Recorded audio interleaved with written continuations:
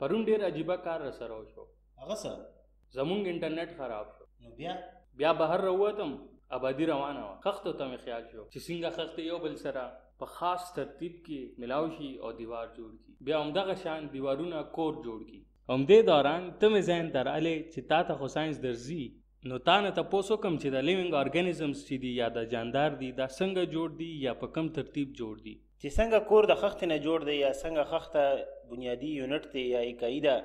د کور همدغه شان دنیا کې چې څومره هم څیزونه دي دا ټول یو بیسیک یا بنیادی یونټ نه جوړ شوی دی چې کم ته په ساينس په جبه کې اټم وایو لکه کاربن شو اکسیجن شو یا هایدروجن شو دا هایدروجن اټم او اکسیجن اټم چې یوځای شي یا ملاو شي نو دینه اوبه جوړ شي چې کم په دنیا کې 75 فیصد موجود دی اټمز چې کلم یو بل سره یوځای شي نو هغه نه مولیکیول یا کمپاوند جوړ شي او بیا اټمز په شان مولیکیولز هم نورو مختلفو مولیکیول سره یوځای شي نو سټرکچر جوړ کی یا یو شکل جوړ کی مثلا مایټوکونډریا دا یا ډي ان ای غ نیوکلیس دی نو دغه سټرکچرز ته موږ اورګنلیز یا اورګنلز وایو دا اورګنلیز یو خاص کار کوي لکه مایټوکونډریا چې څنګه سیل له انرژي ورکوي یا نور وغیره بیا مختلف اورګنلز چې یوځای شي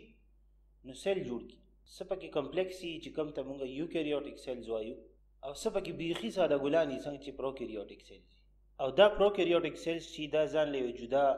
او مکمل جاندار دی یا ارګانیزم دی یوکریوټیک سیلز یو خاص مقصد د پاره یو ځای شي نو هغه نه ټیشو جوړ شي دا هغه ټیشو دی چې خلک په پوزې پاکي نه دا ساينس والا ټیشو دی مثلا مسلز ټیشوز دي چې کوم موږ سره په حرکت کې مدد کوي یا چې څنګه بلډ دی یا وینه ده هغه یو ټیشو دی چې کوم په بدن کې ضروري شیزونه یا مالیکیولز یو ځای نه بل ځای ته رسوي دا ټیشوز چې یو ځای شي نو جسم کې مختلف حصې جوړوي او هغه یو فنکشن کوي یا یو مخصوص کار کوي څنګه چې ګرده ده یا زړه دی نو دغه حصې ته مونږه اورګنز وایو دغه مختلف اورګنز چې یوځای شي څنګه جبه ده کلمې دي او معده ده وغیره نو هغې نه زموږ سره یو مکمل سیستم جوړ شي ډایجسټیو سیستم وایي دغه شان مختلف اورګنز چې یوځای شي نو یو سیستم جوړ کړي په آخره کې دا ټول سیستمز لکه بلډ سرکولیټري سیستم دی وینې والا یا مزغو هغه نروس سیستم دی چې دا ټول سیستمز راځي شي نو مکمل یو از ا هول اورګانیزم جوړ او دې ټول ترتیب ته مونږه لیولز اف بایولوژیکل اورګانایزیشن وایو پوه شئ ښه اوس پوه شوم صبر وکړه اوس زه درته ښیم ارګانیزمز د بلا شی سیستمز نه جوړي او هر یو سیستم کې مختلف ارګنز دي دا ارګنز مختلف ټیشوز نه جوړي هر یو ټیشو د یو شان سیلز نه جوړي او هغه سیلز کې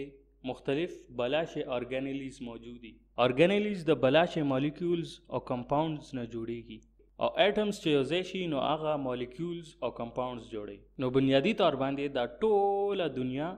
د اټمز نه جوړه شوې ده د ټول ترتیب ته لیولز اف بایولوژیکل ارګنایزیشن وایي ګرانو کتونکو